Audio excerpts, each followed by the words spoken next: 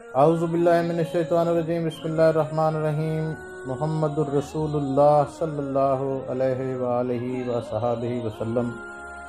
حضرت معاذ بن جبل رضی اللہ تعالیٰ عنہ سے روایت ہے کہ رسول اللہ صلی اللہ علیہ وآلہ وصحابہ وسلم نے ان کا ہاتھ پکڑ کر ارشاد فرمایا، معاذ، اللہ کی قسم، مجھے تم سے محبت ہے۔